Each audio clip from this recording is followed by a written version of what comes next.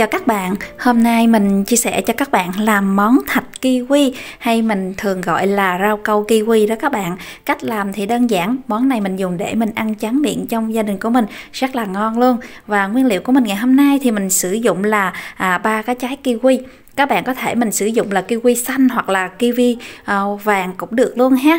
Rồi tiếp theo nữa là mình cần là 700 ml nước lạnh nè các bạn. Rồi mình cũng sẽ cần thêm là 40 g đường và đây là 10 g à, bột rau câu dẻo. Và chỉ cần bốn thành phần này thì mình sẽ có cái món mà à, thạch kiwi rất là ngon cho gia đình của mình đặc biệt là các bé nhỏ ở nhà. Và bây giờ mình sẽ bắt tay vào làm liền cái món thạch kiwi ngày hôm nay của mình và rồi bây giờ đầu tiên là các bạn đây là à, 40g đường và 10g bột rau câu dẻo. Bây giờ mình sẽ cho bột rau câu dẻo vào trong cái chén đường này. Rồi mình sẽ trộn nó lên như thế này để cho đường và rau câu nó hòa lẫn với nhau nhé. Và bây giờ à, đây là ba cái trái kiwi. Hôm nay mình sẽ sử dụng là kiwi màu xanh đó các bạn. Bây giờ mình sẽ à, gọt bỏ vỏ của ba cái trái kiwi này. Và cái món thịt kiwi này nè các bạn các bạn làm đơn giản à, tại nhà các bạn làm xong á mà các bạn cho nó vào trong ngăn mát tủ lạnh á à, khi mà các bé ở nhà muốn ăn á các bạn lấy ra cho các bé ăn hoặc là các bạn có thể à, đẩy bạn bè của mình à, khi đến nhà chơi. Và ba cái trái kiwi của mình cũng đã gọt vỏ xong rồi nè các bạn. Rồi bây giờ mình sẽ à, cắt ba cái trái kiwi này ra.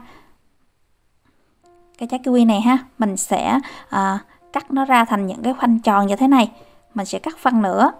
Khoảng một trái rưỡi á các bạn. Nó mình cắt khoanh tròn như thế này để mình trang trí cho cái tô thạch của mình nó đẹp á. Còn phần nữa thì mình sẽ cắt nó nhỏ nhỏ ra à, để mình cho vào chung với cái thạch rau câu của mình luôn.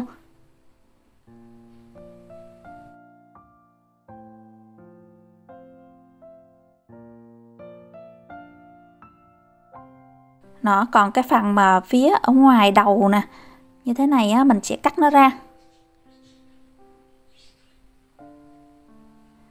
Nó mình cắt vừa vừa như thế này ha.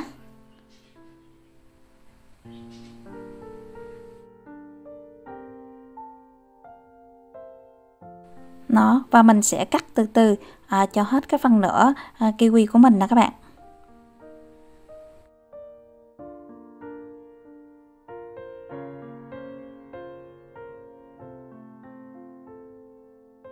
Mình cũng đã cắt xong ba cái trái kiwi. Bây giờ mình sẽ trang trí à, kiwi này vào trong khuôn hoặc là cái tô à, nào bạn thích á.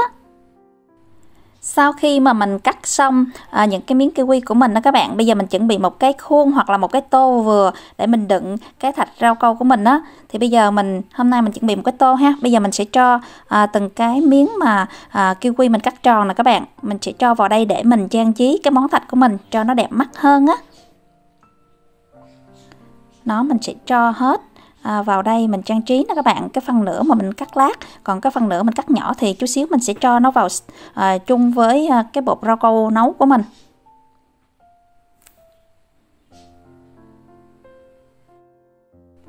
Và mình sẽ sắp nó như thế này nè các bạn. Ở dưới thì những cái miếng tròn còn ở trên đó thì mình sẽ cắt ra làm hai như thế này. Mình mình trang trí xen kẽ như thế này.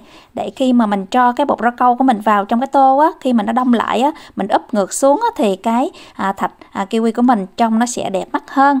À, và mình bây giờ mình sẽ đi qua bên bếp mình sẽ nấu cái rau câu của mình lên. Sau khi nấu lên thì mình sẽ cho nó vào chính giữa cái tô này nhé. Và bây giờ mình sẽ chuẩn bị một cái nồi nè các bạn. Mình sẽ cho vào nồi này là 700ml nước lạnh. À, Sau khi mình cho vào nồi rồi á các bạn Thì mình sẽ mở lửa lên. Mình sẽ nấu à, cái nước lạnh này nè Cho nó sôi bùng lên nhé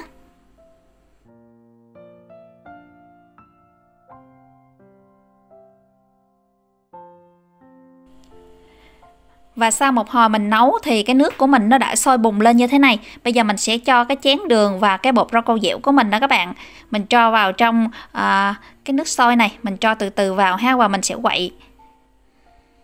Mình nấu với cái lửa vừa thôi các bạn. Đó, mình nấu với cái lửa vừa vừa. Mình nấu vài phút để cho cái bột rau câu của mình nó chín đó.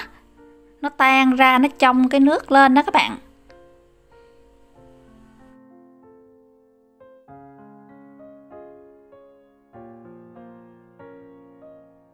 Nó mình thấy nó nấu nãy giờ được rồi nè.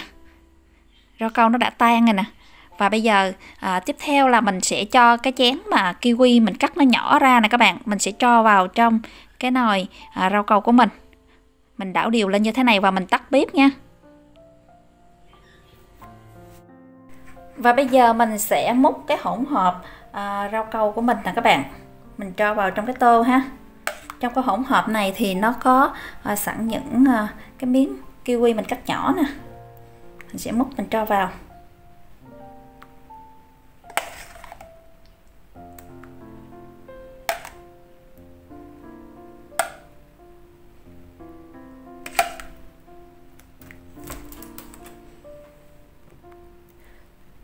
Rồi mình cũng đã cho hết cái thạch vào trong cái tô này vừa nè các bạn.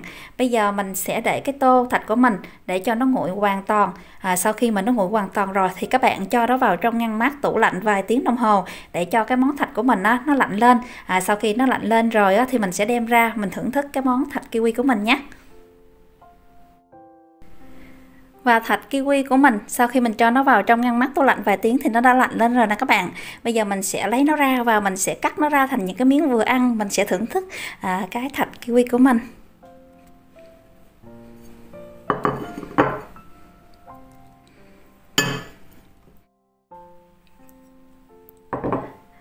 Và như vậy là cái món mà thạch kiwi của mình cũng đã xong rồi các bạn. Các bạn nhìn à, trông nó rất là đẹp mắt luôn à, và bây giờ mình sẽ cắt à, cái thịt kiwi của mình ra thành những cái miếng vừa ăn nhé